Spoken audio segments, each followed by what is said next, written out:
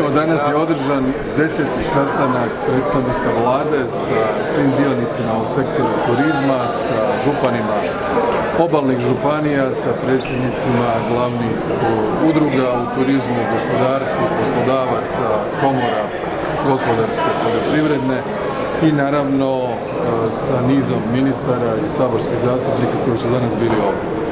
Dobili smo informacije od ministra Glavine i e, direktora Hrvatske turističke zajednice gospodina Staničića o podacima za ovu turističku sezonu koja je prema podacima na današnji dan bolja 5% u pogledu dolazaka i 1% u pogledu noćenja odnosu na lani.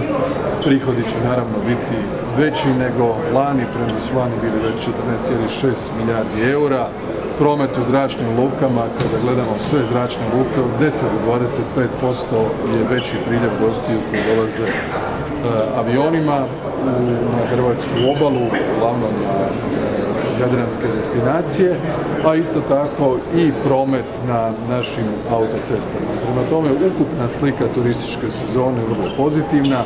Otvorili smo sve ključne teme od provedbe novog zakona o turizmu, donošenja nekoliko pravilnika kao podzakonskih akata koje će ministar Glavina pustiti u javno savjetovanje nakon ovog današnjeg sastanka, provedbu zakona o neprocijenjenom turističkom zemljištu, to nadležnosti ministra Bačića, pitanju sigurnosti i izdavanja radnih dozvola, o čemu su govorili predsjednik Božinović i ministar Piletić, te naravno i drugi ministri sukladno nadležnostima svojih resora.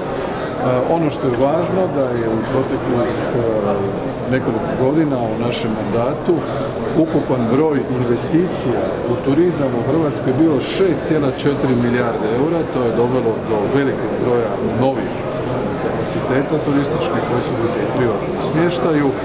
I kada se spoje e, svi kreveti u Hrvatskoj koji su bilo da riječ o hotelima, da riječ o privatnom smještaju, nekomercijalni kapaciteti. Mi imamo skoro 2 milijuna e, kreveta u Hrvatskoj i to je značajno povećanje, od čega je svega 10% u hotelskim kapacitetima. Što se tiče cijena, još jednom smo vrlo jasno kazali predstavnicima turističkog sektora da je važno da u politici formiranja cijena vode računa o onom najbitnijem, a to je da za novac koji gosti koji dolaze u Hrvatsku plaćaju, oni za to dobiju odgovarajuću uslugu, neovisno gdje će smještaju ili nekoj drugoj vrsti usluge. Evo, u svakom slučaju, vrlo sadržajan, kvalitetan sastanak. Mislim da je ova praksa koju imamo sa turističkim sektorom proteklih godina pokazala da kroz dijalog možemo uvijek iznalaziti rješenja koja su itekako dobra za hrvatsko gospodarstvo i za hrvatski turizam.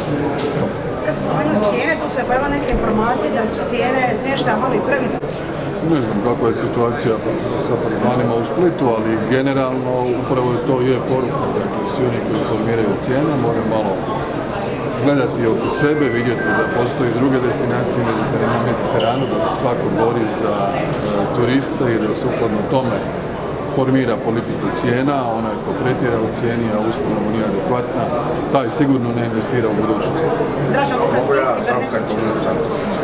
Građani su počeli. Ne znam što su se građani organizirali, gdje je to već? Puta to,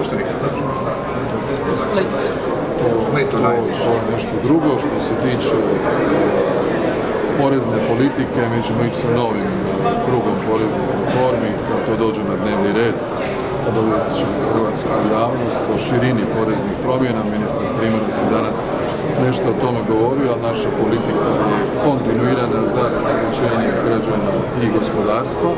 A što se tiče instrumenta porezne politike koji bi trebali biti u funkciji smanjenja cijene kvadrata stana, što je najbitnija tema dugoročno, posebiti za mlade u Hrvatskoj, za mlade obitelji i sve one koji žele steći svoju nekretninu, to je ključno pitanje, to će biti kombinacija nove strategije stambene politike u koju će važan dio biti Evo, neki europski gradovi su odlučili zabraniti apartmane u stambenim zgradama.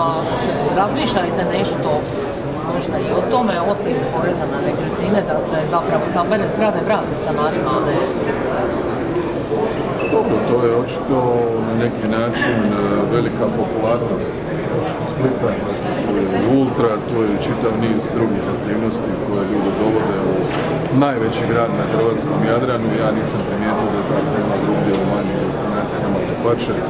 Tamo je privatni smještaj doživio od svake godine sve veći broj investicija i vidi se da je cilj našeg zakona o turizmu upravo koncept održivosti hrvatskog turizma. Postoje dakle limiti rasta, to je sasvim jasno.